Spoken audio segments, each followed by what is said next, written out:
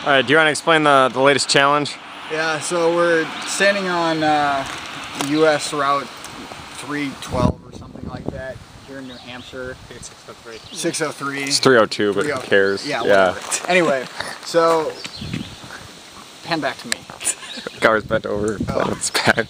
Okay. Uh, so what happened, it was a three mile hitch to the general store where we resupplied. We've done the hitch, we've come back, it's about 12 o'clock and we've got, we're about to, well we would be about to summit Mount Washington. Mount Washington's uh, Second highest peak. 6,280. Yeah. feet. Average summertime temperature is 52 degrees.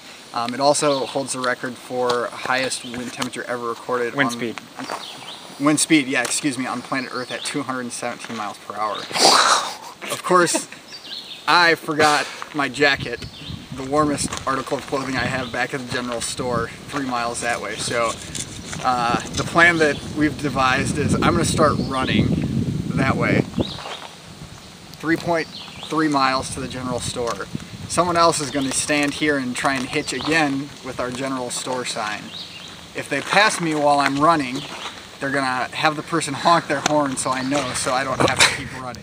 So basically, they're gonna pull over to pick us up, and We're, we're, gonna give them. But they don't even have to pull over to pick, pick me up. I mean, if they... no, they're, they're gonna pull over to pick us up, and we're the person who's hitching is going to tell them, "Don't pick me up. There's going to be a guy running down the side of the road in some chinos and a t-shirt and sunglasses. If you could pick him up and drive him to the general store, that would really help me out. that. I was thinking you would just go to the general store yourself Yeah, because it sounds think- less weird. But Yeah, that would Yeah, make more and it would- sense.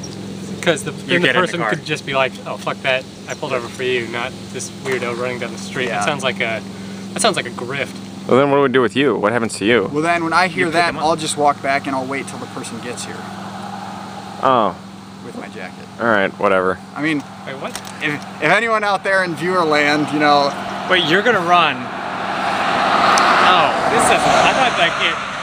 This is how we make group decisions, folks. This is pretty common. this is the part where you should turn off the camera so I can start saying F words. All right, Mufindi Hospital Hike signing off.